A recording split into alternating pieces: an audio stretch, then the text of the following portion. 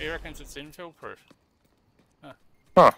And you can only access the air terminal um, from. Um, oh yeah, bye. I think I'm recording all of this too. I think I'm recording voice. Um, you can only access. He said you can only access the air terminal from inside if you're um, NSO. So, actually, I'll get back in the sunder in the ant and get an external view so you can see into the base. Because you can't. I'm running around from the outside recording it, but you can't really see what it looks like from from the ground. So. So it's just, it's a one-man base with three walls. All the walls touch so you can't get through. You walk up to the wall and there's a turret nearby and you press E and you're in. Like that. Get out of the turret. I'm just saying this for the video. So now you're inside. Bingo. Then he's got a turret on the outside. There. And you get close enough, you press E are now outside.